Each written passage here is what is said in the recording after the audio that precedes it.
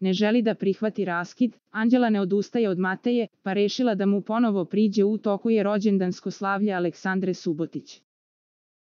Zadrugari su doveli atmosferu do usijanja, a Anđela Đurić, iskoristila je priliku da se Staniji Dobrojević požali na ponašanje Mateje Matijevića. Rekao kao pričamo sutra da ne histerišem. Rekla sam važi, onda ne moramo ni da pričamo. Poslušat ću ga, pitaću ga još jednom, rekla je Anđela. Za najnovije vesti iz realitija estrade kliknite subscribe like i zvonce. Svaki dan najnovije vesti zato nas zapratite.